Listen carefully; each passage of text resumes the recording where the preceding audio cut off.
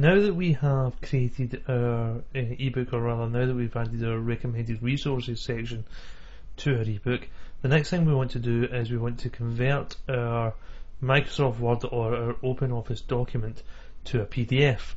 And that's what we'll be showing you how to do in this video. It's a very simple process. All you do is simply go up to File, and then go down to export as PDF and then when this box comes up all you need to do then is click export.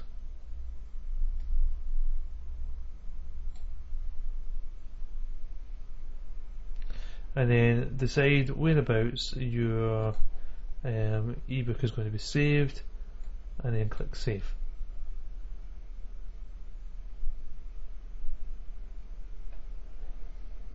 and it really is that simple. Um, that's the easy way to convert your ebook to a PDF format, and then it's ready for uploading onto your website for when your visitors uh, opt into your list uh, and they can download it in that format.